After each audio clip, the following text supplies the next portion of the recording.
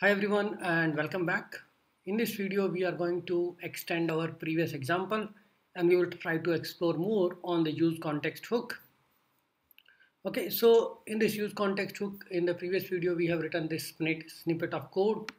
Very basic, we are passing the count and count is being accessed.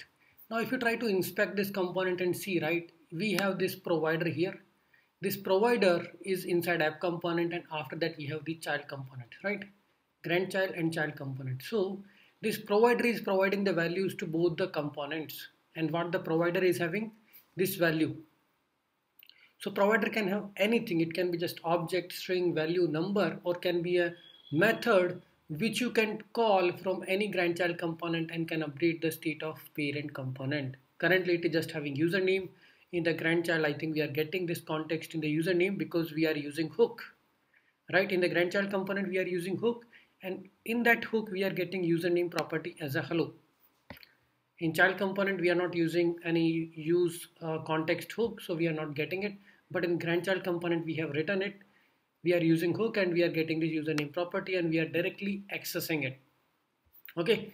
Now I mean this was the simple example. Now you can actually make this example a little complex like the state which we are passing with that state can be as complex as you want here we can just say blog and set blog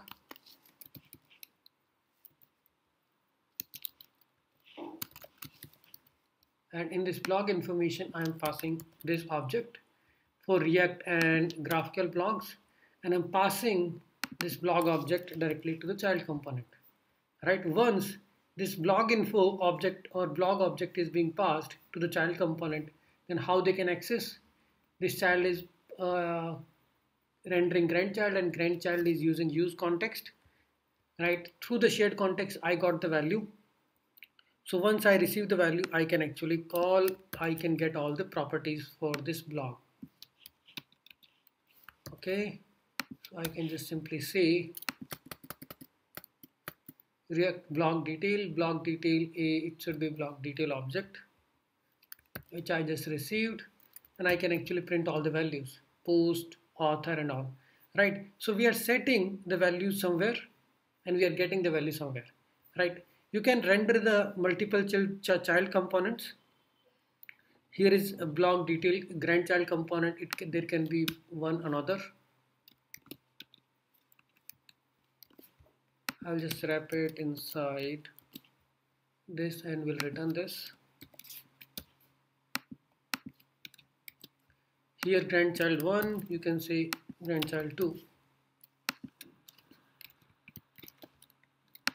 so this is one. Similarly there can be another component.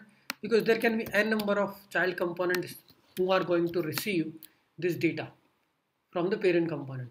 So I'm sharing it from the app component. Oh app component is having this provider and I put the child as a children component of this parent component app. So whatever you write in the child component. Here also you can have a child 1 child 2 child 3 all those child components are the candidate to write use context hook and access the shared context because shared context is already shared with the parent component. So all child component can access it. They can access the details from it. So you can actually use this context APIs as a store. Here you can actually manage a big store object at the component level and from any other component that store can be updated. I mean you will be calling the set blog details also. Like here I have on click method. Here I have just a button on the on click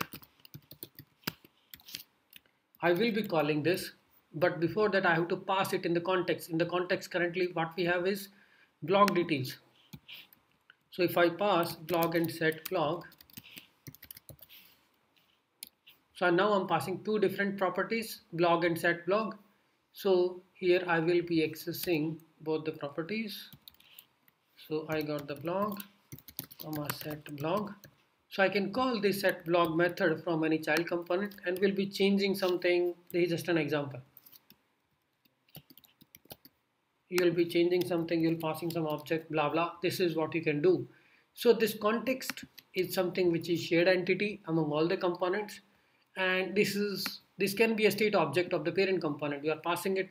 Now this state can be triggered directly. This state update can be triggered directly. Set blog right? What it is doing it is updating the blog object right? So it can do two things. You can pass anything you want. You can access it that.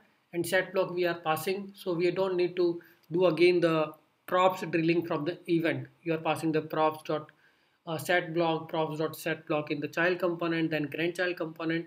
I can directly access set blog to from this grandchild one component and I'm able to update the state. Okay. The actual advantage of use context API is with the use state. This we are doing. But this is also very minor. Here we just have a state and some kind of a method. You can create a, some kind of a store with this. Just have an object in the use state hook.